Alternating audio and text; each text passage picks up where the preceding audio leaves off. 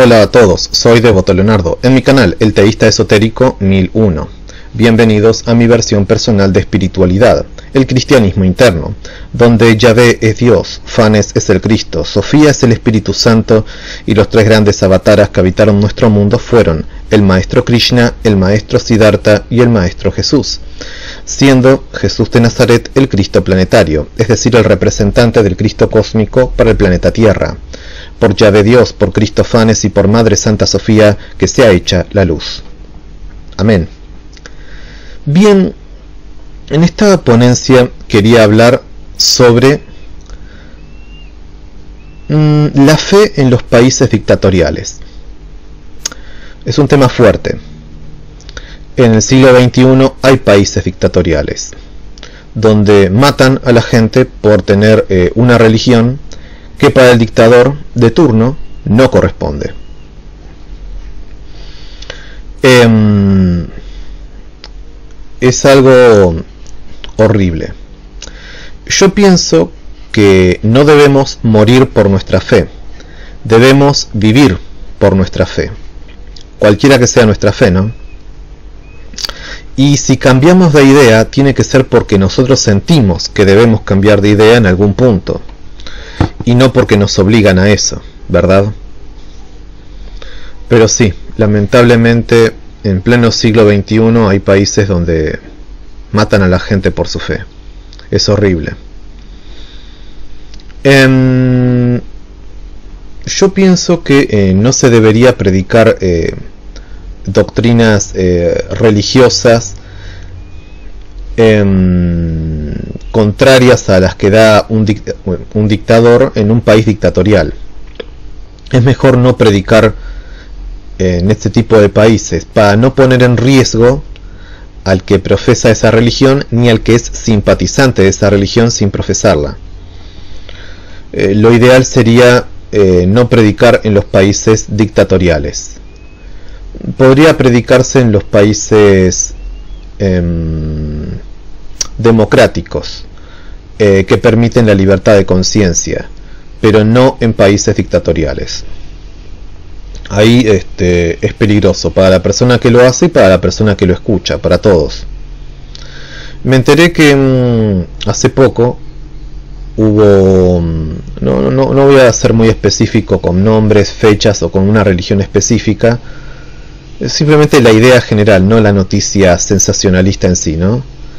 Que mm, bueno, había ciertos adoradores de Jehová en un país donde, bueno, una religión que ordena la neutralidad política eh, les prohibió a sus seguidores este, comprar la libreta de enrolamiento al partido único que había en ese país. Era en un país de África. De África. Este, porque bueno, esa religión ordena la neutralidad. Religión o institución de culto, porque para mí no es lo mismo. La religión puede ser la fe en un dios o en una diosa. La institución de culto, que estás afiliado o desafiliado de una institución de culto, ya es otra cosa.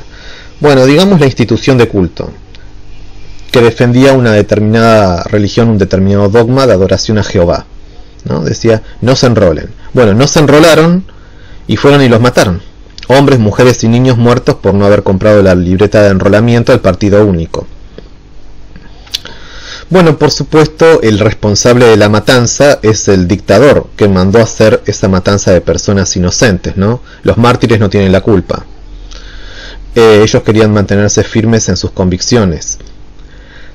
Pero eh, yo pienso que esa convicción es equivocada. ¿Qué? ¿La adoración a Jehová es algo equivocado? No, yo también adoro a Jehová. Lo equivocado es este que una institución de culto le exija neutralidad a los palos a sus seguidores. Eso está mal. Eh, lo que uno debería hacer es darle libertad a los seguidores para elegir qué hacer, sobre todo si la vida de ellos está en riesgo. ¿Quién va a pagar las consecuencias? El individuo. Entonces es el individuo el que tiene que tener libertad de elección. Y la religión no debería coaccionar a esa persona para que elija una cosa o la otra. La religión debería sugerir un camino. y luego el individuo que está en la situación, que está en el país, debería decidir qué hace. Fíjense en que no los mataron por ser devotos de Jehová, los mataron por eh, no enrolarse, no comprar la, la libreta de enrolamiento. Hubieran comprado la libreta de enrolamiento y hubieran seguido adorando a Jehová y no les pasaba nada capaz. De todas formas, repito, el culpable es el dictador. Pero la iglesia, en ese caso, yo creo que cometió, esa iglesia en particular, que no voy a decir cuál era, cometió un grave error. Exigir neutralidad a la gente no es correcto, no puedes exigirle nada a la gente. Vos tenés que sugerir a la gente, a lo sumo. Decir, estas son este, mis convicciones, pero bueno, cuando uno está en la situación uno hace lo que puede. Que en realidad esa es la verdad. Si uno no tiene libertad de acción, ¿es responsable de sus actos? bueno, va a responder por sus actos, sea libre de, cometerlos o no, pero la responsabilidad disminuye mucho a nivel espiritual, pienso yo, si uno no es libre de, sus actos. Eh, ahí está el problema. Cuando uno no es libre de hacer lo que quiera, entonces tampoco es responsable espiritualmente de lo que hace, o la responsabilidad espiritual disminuye. Por eso yo pienso, somos libres de hacer lo que queramos y somos responsables de nuestras acciones voluntarias. Sí, pero lamentablemente en este mundo impuro de materia impura, también somos responsables de nuestras acciones involuntarias. Voluntariamente o involuntariamente vos lo hiciste y vas a pagar por eso. o vas a cobrar por eso. También. O sea, espiritualmente sí, somos responsables de nuestras acciones voluntarias Sí, espiritualmente, pero materialmente somos responsables de todo, nos hacen responsables de todo.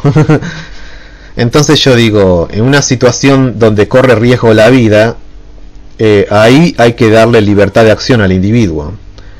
Luchar contra la dictadura y aceptar las consecuencias que puede ser la propia muerte o la muerte de los familiares también.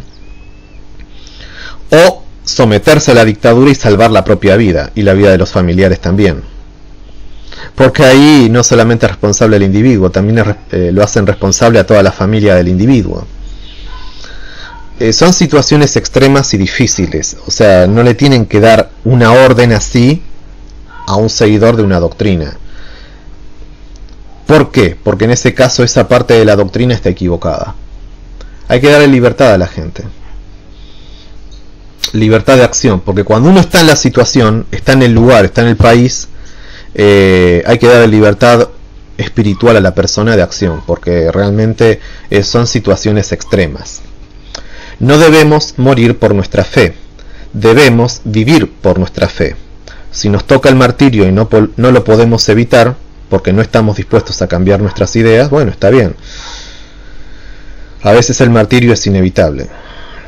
No queremos cambiar de ideas, y bueno, no cambiamos de ideas y nos martirizan. Bueno, puede pasar, Incluso en un país democrático puede pasar un loco, puede hacer cualquier cosa. Un loco puede ir porque pensás distinto a él y te puede matar. Eh, eso ya es inevitable. Pero eh, tenemos que evitar ese tipo de situaciones. Yo, por ejemplo, siempre digo, en público soy católico, entre mis amigos soy espiritual y en privado soy cristiano interno. No, no, tenemos que exponernos a situaciones eh, de peligro. Yo soy del pensamiento de que hay que darle libertad a la persona en esos casos. Con respecto a la neutralidad política, mm, no sé si es algo tan bueno la neutralidad política. Yo, por ejemplo, no soy neutral en asuntos políticos. Yo creo que la democracia indirecta es la mejor forma de gobierno que existe en el plano físico. Es la forma de gobierno que, por ejemplo, se aplica en Argentina, y en otros países democráticos del mundo. Eh, la democracia es la mejor forma de gobierno que existe. Al pensar eso ya no soy neutral en asuntos políticos. Creo en la libertad de conciencia y no me gusta lo que ataque cualquier doctrina que ataque la libertad de conciencia. Entonces no soy neutral. Una vez estaba escuchando a alguien decir algo en, en, en la televisión que dijo, el solo hecho de que yo tome este vaso de agua ya hace que sea un acto político en sí mismo. bueno, creo que eso es exagerado. Em, puede ser que uno sea neutral en asuntos partidarios, pero la neutralidad también puede cambiar. Qué sé yo. Tampoco digo que hay que ser neutral en asuntos partidarios. No, no, no, no, no. La neutralidad no. El solo hecho de decir no voy a afiliarme a ningún, eh, a ningún partido político ya te marca con una orientación política. Incluso si uno trata de ser neutral, ahí ya está tomando un partido, eh, un partido político, digamos, ¿no? el partido de la neutralidad. Aunque no exista ese partido, no importa, eh, ya es un acto político en sí mismo tratar de ser neutral. Exigir neutralidad, prohibir afiliaciones, eso va contra la libertad de pensamiento. Em, yo entiendo que uno puede estar apegado a un determinado dogma, pero también hay que hacer modificaciones en el dogma y no seguir cualquier dogma. Esta es la palabra de Dios. Dios no puede mentir. Mentira. Yo creo en una revelación sucesiva en la humanidad. Entonces Dios puede mentir, puede decir la verdad o puede mezclar verdades con mentiras. Él puede hacer lo que quiera para eh, provocar la evolución de las almas en evolución. Dios es poderoso, Él puede hacer lo que quiera, nosotros no podemos hacer lo que queramos. Nosotros, a lo sumo, eh, lo que tenemos que hacer es seguir las buenas inspiraciones de Dios para hacer la, eh, eh, la mejor versión de nosotros mismos que podamos ser. pero Dios puede hacer lo que quiera. Nosotros no tenemos que ser como Dios. Nosotros tenemos que este, seguir las buenas inspiraciones de Dios para ser la mejor versión de nosotros mismos que podamos ser. Vamos a ser iguales a Dios cuando nos fusionemos con Él. Mientras tanto somos criaturas de Dios y no debemos imitar las acciones de Dios. Debemos seguir las buenas inspiraciones que Él nos dé. ¿Y quién discierne qué es bueno y qué es malo? El individuo, bajo su propia responsabilidad. Y el individuo puede cambiar de opinión si siente que es para mejor. Ese es mi pensamiento. Por eso yo sigo eh, un credo, ¿verdad? El credo cristiano interno. Lo estoy poniendo al final de todas mis ponencias para que, que sepan cuál es mi pensamiento personal en cuestiones eh, religiosas. Pero si yo siento que tengo que cambiar alguna parte de mi credo, la cambio. No tengo ningún problema. Em, sigo una idea mientras me parece que es buena. Si siento que es mala o está equivocada en algún punto, la dejo de seguir y, cambio mi credo. Si es un credo personal, lo puedo cambiar. Por eso yo siempre digo que la evolución individual es mejor que la evolución grupal y que no hay que pertenecer a ninguna secta, porque las sectas ponen limitaciones a las ideas y eso impide el avance espiritual. Eh, uno puede seguir un determinado dogma y sostenerlo, pero si uno siente que tiene que cambiarlo, lo puede cambiar. Em, por eso eh, uno individualmente avanza rápidamente, eh, pero grupalmente se avanza muy lento, porque si uno hace un cambio, tiene que explicárselo a los demás y los demás se tienen que poner de acuerdo en que ese cambio es positivo. Por eso las religiones avanzan tan lentamente. La gente no se pone de acuerdo consigo misma ni con los demás a veces. En cambio, si uno em, trabaja en solitario, puede avanzar más rápido. Si siente que tiene que cambiar una idea, la cambia y listo. Así me he manejado yo durante 24 años dentro de mi forma personal de panteísmo. He cambiado de idea muchas veces mi versión actual de cristianismo interno es muy, o de panteísmo, es muy diferente a la que yo practicaba hace 24 años atrás. Fue evolucionando, fui agregando cambios, fui cambiando la teología. La base sigue siendo el panteísmo. Hay cosas que no cambian, pero hay cosas que sí cambian. Em, tengo una mente flexible que puede cambiar de idea. Además, lo que sirve para mí quizás no sirva para los demás. Por eso yo no impongo mi doctrina a nadie. La doy como lo que es.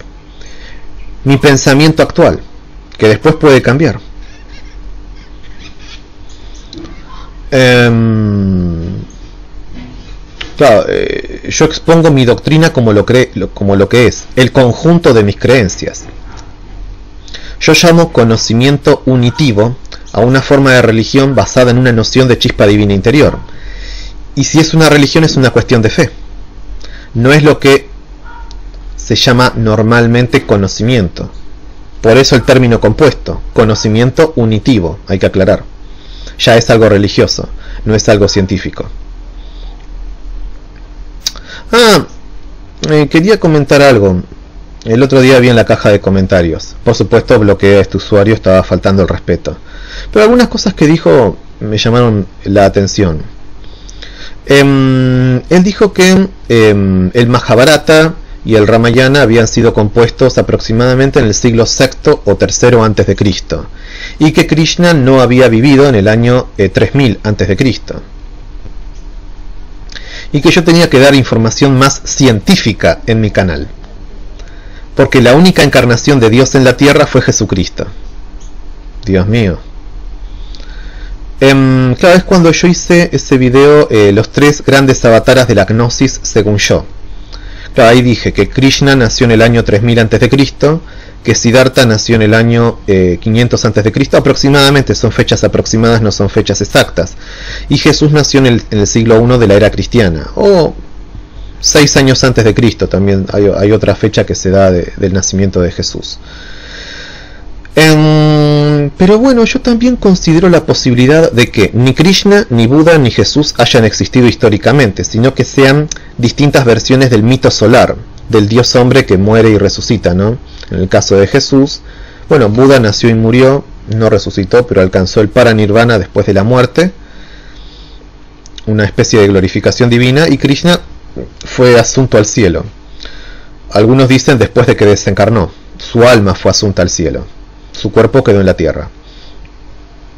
O sea, en los casos de Krishna y de Siddhartha, el cuerpo quedó en la tierra, y en el caso de Jesús, bueno, para mí también su cuerpo quedó en la tierra. Lo que ascendió de Jesús fue el alma, no el cuerpo. La resurrección de Jesús para mí fue espiritual, fue recuperar el cuerpo espiritual de gloria que tenía eh, antes de descender a la materia. Así que para mí los tres grandes avataras dejaron su cuerpo en la tierra. Pero supongamos que ninguno de los tres existió. Yo contemplo esa posibilidad. En ese caso, Krishna, Siddhartha y Jesús son ángeles. Y la historia de sus vidas y sus fechas de nacimiento y muerte son mitos. Yo creo en el mito del huevo cósmico, creo en el mito de Krishna, en el mito de Siddhartha y en el mito de Jesús. De hecho, eh, si nos basamos en la ciencia, Dios es un mito inventado por el ser humano. En una religión casi todo es mitología entonces si lo vemos desde este punto de vista. Entonces, si busca información científica, eh, mi canal no es para eso.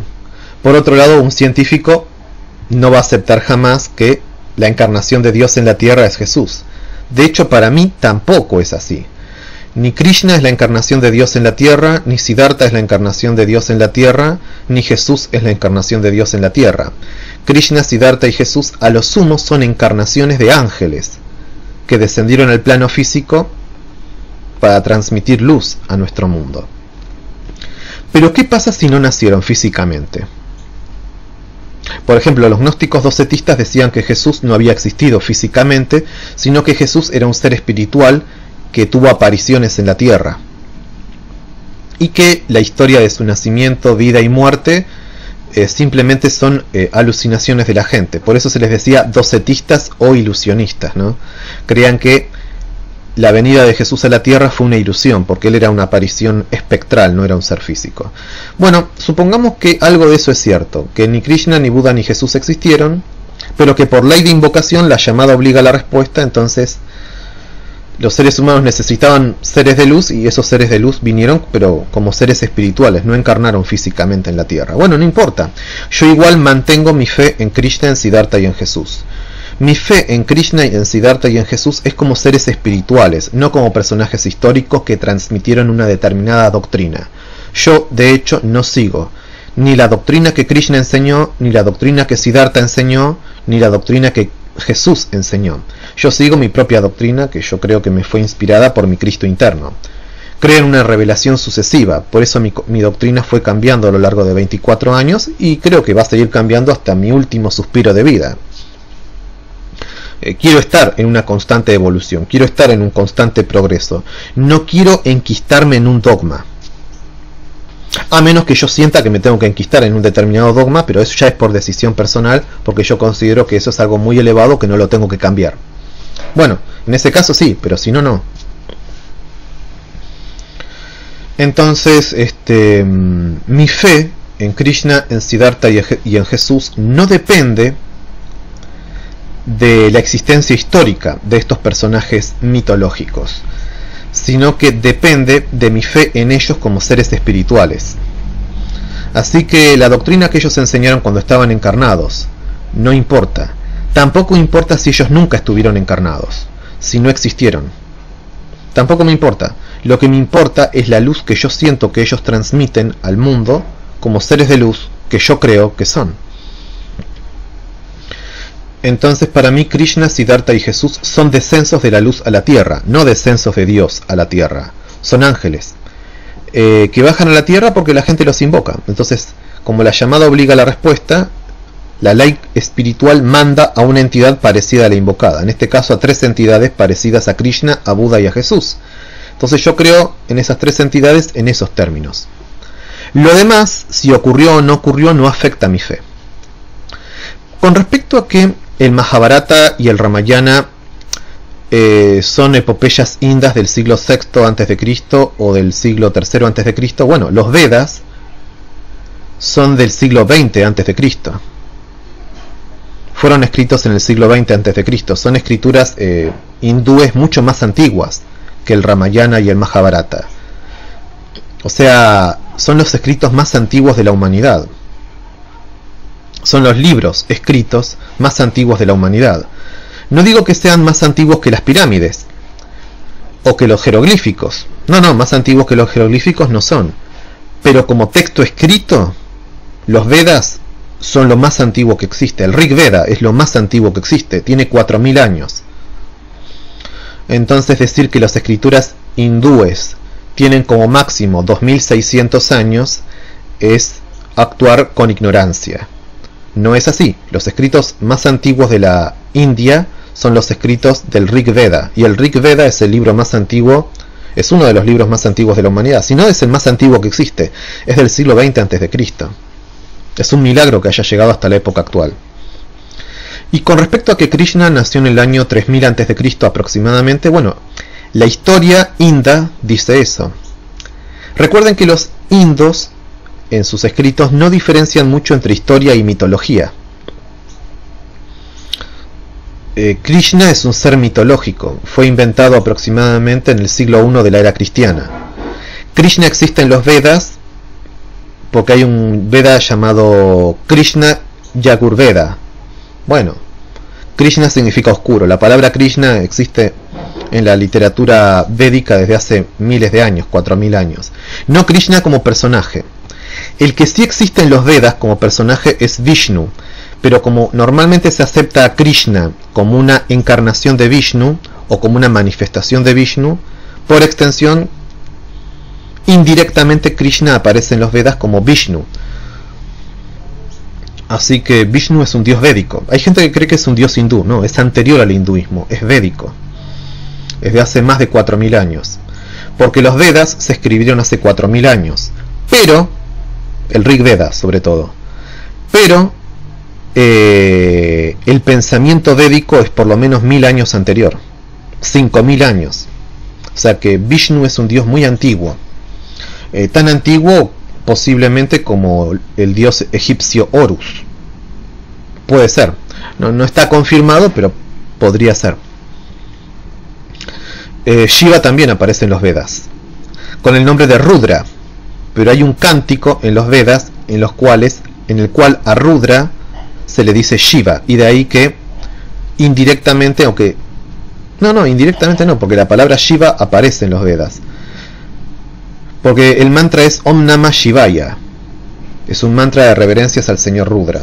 Entonces Shiva aparece en los Vedas también. Es un dios muy antiguo. 4000 años mínimo.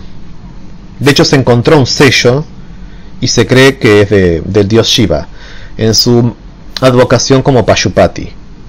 No, no, la antigüedad de los Vedas no se discute históricamente.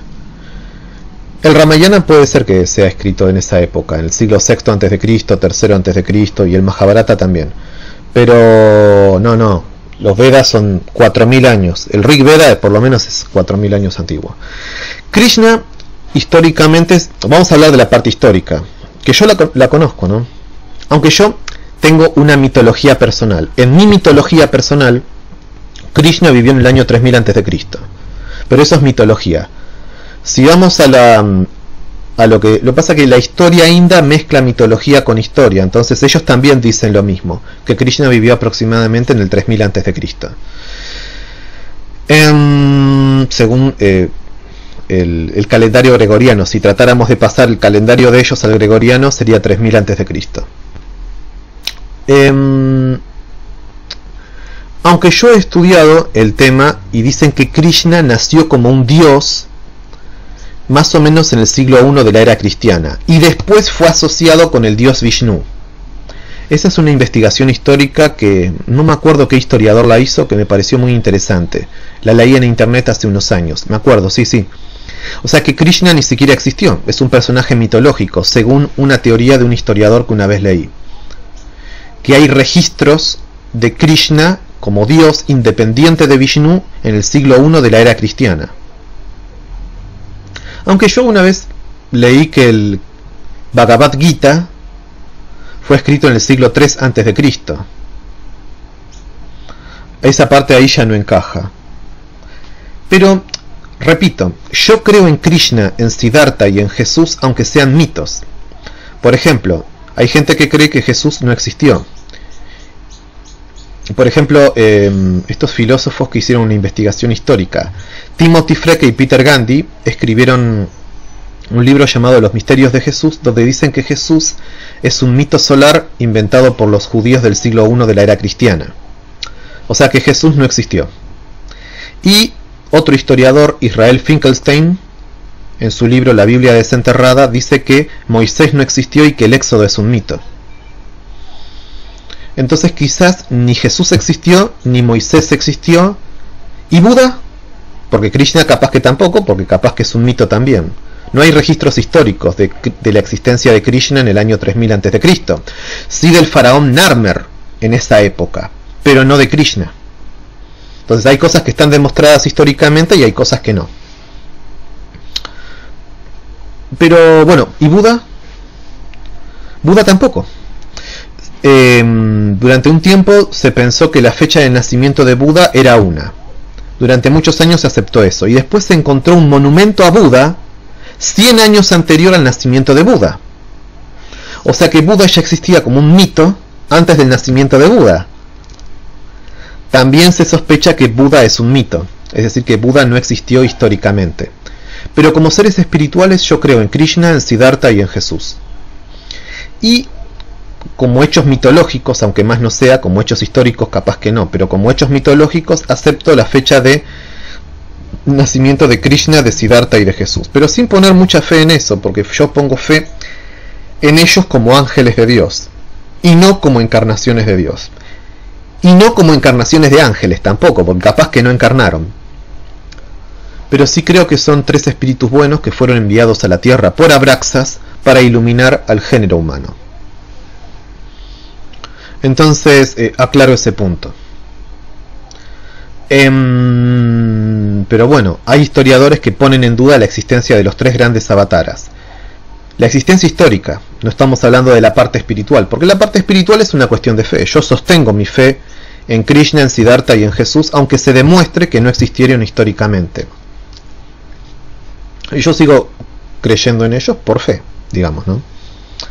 Pero no como encarnaciones de Dios. Porque para mí Dios es demasiado elevado para encarnarse. Dios nunca se encarnó y nunca se va a encarnar. Es un ser espiritual. Y eh, muy elevado como para encarnarse. Dios no se encarna nunca. Ahí ya estoy en desacuerdo con cristianismo y con hinduismo. Con el budismo no, porque el budismo dice algo más parecido a lo que yo pienso. El budismo dice que los bodhisattvas almas avanzadas pueden encarnarse en la Tierra para ayudar a adelantar al género humano.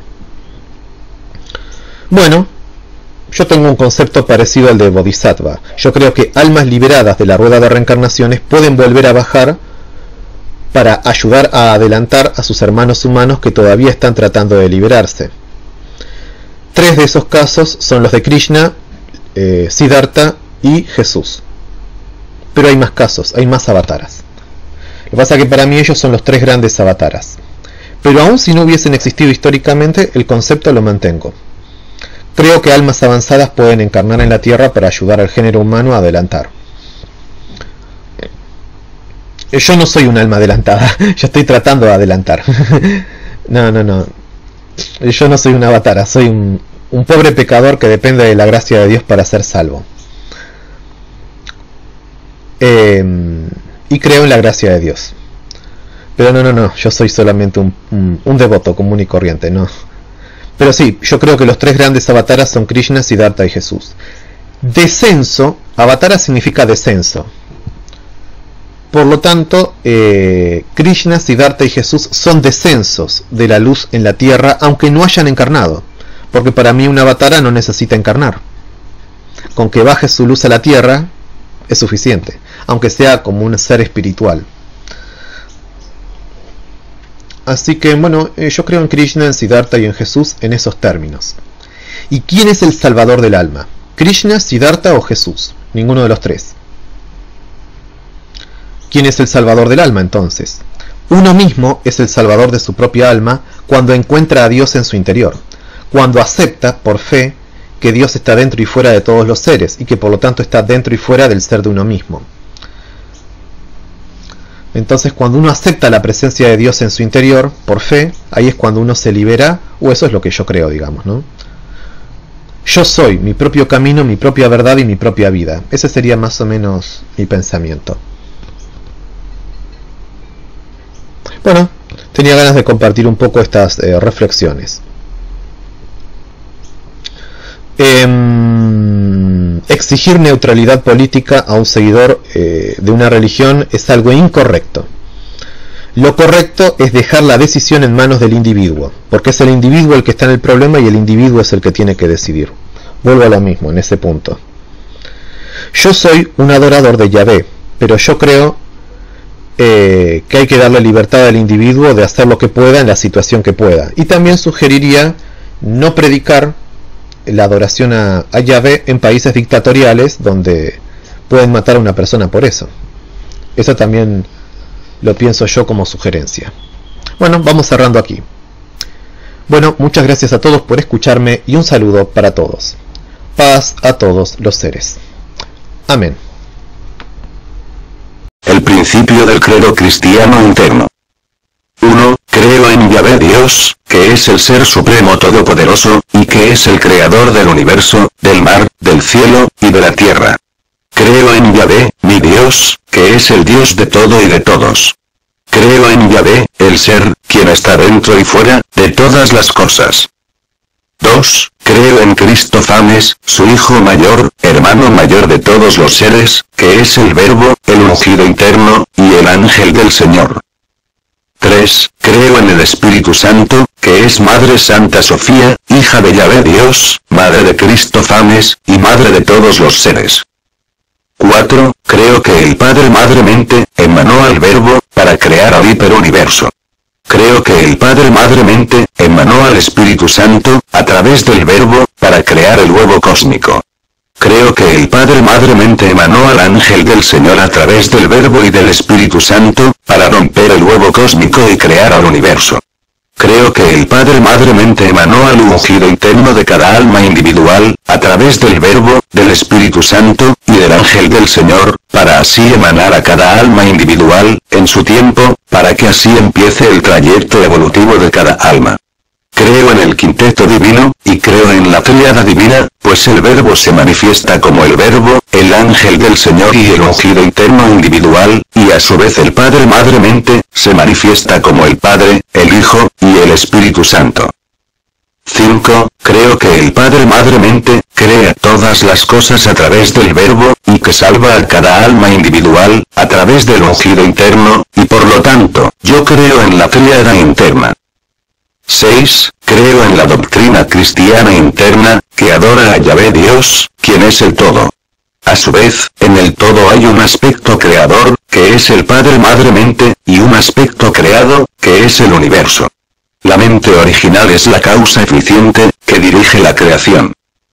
La ley espiritual es la causa instrumental o el instrumento creador. Y el pensamiento es la energía espiritual, siendo la causa material, o la materia prima con la que todo fue creado. La ley espiritual, es el modo de ser de Yahvé Dios, y es inmutable, porque forma parte de Yahvé Dios, quien es inmutable. La ley espiritual también es los mandatos de Yahvé Dios, que solo Yahvé Dios puede cambiar. Creo que existe el destino, pues Yahvé Dios lo sabe todo incluso antes de que suceda, pero también creo que Yahvé Dios le dio libertad de elección de cada individuo. Creo que Yahvé Dios puede cambiar el destino, si Él ve que hacemos lo que Él quiere, y si lo satisfacemos. Creo que alabar a Yahvé Dios es bueno, y que eso le agrada mucho, y creo que Él se congracia con aquellos que lo alaban. Creo que el todo es uno, que el todo lo incluye a todo, y que el todo, en su aspecto esencia, lo es todo. Creo que el todo es la esencia del ser y del no ser, de la existencia y de la no existencia, así como es el conjunto de cada cosa que existe y que no existe, y así como es cada cosa individual. Yo creo que cada cosa está en Dios, que Dios está en cada cosa, y que en el fondo, todo es uno y todo es Dios. Yo creo en la religión del Dios todo. Yo creo que hay que dar al espíritu lo que es del espíritu, y que hay que dar a la materia lo que es de la materia. Creo que los espíritus no se materializan. Creo que la ascensión es del alma, y no del cuerpo. Creo que cuando el cuerpo muere, el alma desencarna, y vuelve a Dios, para ser juzgada por Dios, y que Él decide su destino, pero el cuerpo queda en la tierra. El espíritu vuelve a Dios, pues Él fue quien lo dio, y el cuerpo vuelve a la tierra, pues la tierra fue quien lo dio. 7. Creo en la Santa Tríada, donde el Padre es totalmente Dios, mientras que el Hijo y el Espíritu Santo, son parcialmente Dios. Creo que el Hijo y el Espíritu Santo, son, en parte, manifestaciones de Dios, y en parte, criaturas de Dios. 8. Creo en los santos ángeles y en las almas liberadas, que son criaturas de Dios. 9. Creo que todo está en Dios y que Dios está en todo, y creo que en el fondo, todo es uno y todo es Dios. 10. Creo en el alma inmortal de toda criatura de Dios, y creo que el alma está en un proceso de evolución espiritual, a través de la reencarnación sucesiva. 11. Creo que el alma inmortal se libera de la reencarnación en el mundo material, a través del conocimiento unitivo, que consiste en que el alma, acepte por fe, que Dios está dentro y fuera de uno mismo, a través de la propia chispa divina interior que es el ungido interno, salvador del alma. Luego de la última reencarnación, el alma liberada asciende al cielo, con Dios y con sus ángeles, en dicha eterna, y allí, continúa su evolución espiritual, en mejores condiciones. 12. Creo en el plano físico, que es el mundo material, y creo en el mundo espiritual, en donde está el plano astral y el plano solar. El plano astral es un lugar o estado, en donde las almas están entre una reencarnación y la otra, y el plano solar es un lugar de felicidad perpetua. 13. Creo en el cielo, en la tierra, en el purgatorio, y en el infierno. El cielo definitivo está en el plano solar, y es un lugar de dicha eterna. El cielo pasajero es un lugar de dicha pasajera en el plano astral, en donde están las almas buenas entre una encarnación y la otra. El infierno es un lugar de tormento pasajero en el plano astral en donde están las almas malvadas entre una encarnación y la otra. El purgatorio, es un lugar de purificación, a través del dolor, o a través del servicio divino sin dolor, en el plano astral, para las almas que están a punto de lograr su ascensión espiritual. 14. Creo que Dios es uno y muchos en simultáneo, y que debe ser adorado en su unidad y en su diversidad, en espíritu y en verdad, ahora y siempre. 15. Creo que Yahvé Dios creó al universo con su mente y con su palabra. El pensamiento es el elemento primordial que procede de la mente original, con el que Dios creó todas las cosas. El pensamiento es la energía espiritual con la que Dios gobierna al universo entero. 16. Creo que Yahvé Dios es omnipotente, omnipresente, y omnisciente, y creo que Dios está lleno de amor, sabiduría, y poder. 17. Creo que Yahvé Dios, es amor, pero que también, es fuego consumidor. Creo que Yahvé Dios es amor inmanente y verdad trascendente. Creo que Yahvé Dios es amor que todo lo llena y verdad que todo lo supera. 18. Creo que Yahvé Dios en el fondo es bueno, y que Él nos ama, porque formamos parte de su ser. Creo que Yahvé Dios creó al universo con la dualidad de bien y mal, porque por su esencia interna, Él es un creador dual. 19. Creo en el quinteto divino, formado por el Padre Madre Mente, el Verbo, el ungido interno, el ángel del Señor, y el Espíritu Santo. Y creo en la Santa Tríada Divina, formada por el Padre, el Hijo, y el Espíritu Santo. 20. Creo que cada individuo es libre de hacer lo que quiera, y que es responsable por todas sus acciones voluntarias. 21. Creo en la salvación por la sola fe en el ungido interno, y creo que obrar el bien hace bien a la evolución del alma, y que obrar el mal hace mal a la evolución del alma. Creo que la ley espiritual devuelve, mal por mal, y bien por bien, para beneficiar el aprendizaje de las almas, pero también creo en el perdón de los pecados. 22. Creo que toda alma que se libera de la reencarnación, deja su último cuerpo en la tierra, pues el cuerpo muere, pero el alma desencarna, y que su alma asciende al cielo, para pasar, luego de un tiempo, por un proceso de purificación, luego del cual, asciende aún más, para recibir un cuerpo espiritual de gloria, semejante al de los santos ángeles de Yahvé Dios pero aún sin pasar por la ascensión divina o glorificación divina, toda alma liberada, luego de una purificación espiritual, ya vive en dicha eterna. 23. Creo que somos transformados por la renovación de nuestras mentes. La transformación menor, se recibe en la tierra, cuando se acepta por fe la salvación del ungido interno, y la transformación mayor, se recibe en el cielo, cuando se recibe la resurrección espiritual o ascensión divina, cuando nuestra alma inmortal es revestida de gloria. Todos los seres somos hijos de Dios, y no solo los hermanos de religión. Sin embargo, hay iniciados en la conciencia de Cristo, y no iniciados en la conciencia de Cristo. La salvación, es para los iniciados en la conciencia de Cristo, pero algunos de los no iniciados, también son salvos, pues ya ve Dios ve y valora lo que está oculto en el corazón. La iniciación no es un ritual de inmersión en agua, sino que es un nivel de conciencia, que nos sumerge en el Espíritu Santo. La iniciación es la fe en el ungido interno, que nos hace renacer del Espíritu de Dios. 24. Creo en la ley espiritual, que es el orden oculto, atrás del desorden aparente, en el universo. Creo en la ley de invocación, que indica que la llamada obliga a la respuesta, sin importar si la entidad espiritual existe o no, pues la ley espiritual siempre responde, y puede enviar una entidad parecida a la invocada.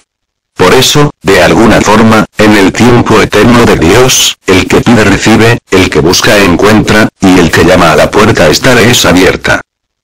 25. Creo que existen muchos caminos que llevan a la cima de una montaña, y no solo un camino. Creo que cada quien debe encontrar su propio camino, pero que al final, de una forma u otra, el yo soy o un giro interno, es el camino más refinado. 26. Creo que Yahvé Dios es el todo infinito, pero también creo que a través de su energía espiritual, se puede manifestar en mi mente y en el mundo espiritual, con aspecto humano, y lo imagino como un hombre con vestimenta blanca, y cabello blanco y largo, y con barba. Creo que Cristo Fames, Señor de Gloria, es un ser muy grande, pero que a través de su energía espiritual, se puede manifestar, en mi mente y en el mundo espiritual, con aspecto humano, y lo imagino como un hombre, con alas de águila en la espalda, y sosteniendo un bastón y una antorcha. Creo que Santa Sofía, el Espíritu Santo, es muy grande, pero que a través de su energía espiritual, se puede manifestar, en mi mente y en el mundo espiritual, con aspecto humano, como una mujer portando un libro, o con aspecto de serpiente, enroscando al huevo cósmico, o con aspecto de paloma blanca con siete lenguas de fuego. 27. Creo en orar, pensar, y actuar. Oro a Dios con la fe de que me escucha, y que siempre me ilumina al enfocar mi mente en Él, me cumpla lo que le pido o no me lo cumpla. Pienso estratégicamente, en qué posición estoy, a qué posición quiero llegar, y qué tengo que hacer para lograrlo. Y trabajo con paciencia y con insistencia, hasta lograr los objetivos, que pueda lograr. Cuando puedo hacer bien, alguna de estas tres cosas, lo hago, y cuando puedo hacer bien las tres cosas, también lo hago. Por este triple medio, se puede lograr algo de lo que uno desea, pero no todo lo que uno desea. El hombre propone, pero Dios dispone. 28. Creo que Cristo Fames, en su aspecto como el ángel creador del universo, se metió dentro del huevo cósmico, y lo rompió desde adentro, y que a través de un proceso sucesivo, de ruptura y expansión, de la materia contraída del huevo cósmico, creó al universo, copiando los arquetipos perfectos del mundo de las ideas de Dios, y plasmándolos en el mundo sensible de Dios, y creo que hizo todo esto por orden de Yahvé Dios. Creo que Cristo Fames, cíclicamente, una y otra vez, expande el huevo cósmico para crear al universo, y que lo contrae para destruir al universo, por orden de Yahvé Dios. Creo que el día del Señor Cristo Fames, empieza cuando Cristo Fames, despierta y rompe, por expansión, al huevo cósmico, y que el día cósmico se desarrolla, cuando el universo evoluciona, en expansión o en contracción, y el ángel Fames está despierto. Y creo que la noche del Señor Cristo Fames, es cuando el universo se contrae y se colapsa, transformándose nuevamente en el huevo cósmico, para que el ángel Fames, se duerma y quede dormido en su interior. Todo este proceso creador termina cuando Yahvé Dios le ordena a Santa Sofía, que absorba el huevo cósmico, que una vez emanó, y así, Cristo Fanes vuelve con Yahvé Dios y con Santa Sofía, renaciendo del Espíritu de Dios, y volviendo al reino de Dios, al absorberse en el Verbo de Dios, que siempre ha sido. Así como Cristo Fanes renace cíclicamente del huevo cósmico, cada uno de nosotros renace cíclicamente, a través de la reencarnación sucesiva, hasta renacer del Espíritu de Dios, despertando del sueño material, para vivir la vida espiritual, y volver al reino de Dios. La diferencia es que Cristo Fanes ya es libre desde su creación, mientras que nosotros, alcanzaremos la libertad, al renacer del Espíritu de Dios. Creo que Cristo Fanes es nacido de Yahvé Dios, y que es, libre y santo, desde el principio, pero que nosotros, los humanos, aunque somos espiritualmente nacidos de Yahvé Dios, fuimos involucionados, para luego empezar a evolucionar, dentro de la creación, y que nos hacemos libres, al aceptar a la presencia de Yahvé Dios en nosotros, la cual está manifestada como el ungido interno individual, salvador del alma individual. Creo que la salvación del alma es individual, y por lo tanto, uno solo junto a Dios es lo bueno, y todo lo demás, sobra. 29. Creo en el Padre, en el Hijo, y en el Espíritu Santo. Creo en Yahvé Dios, en Cristo Fames, y en Madre Santa Sofía. Amén.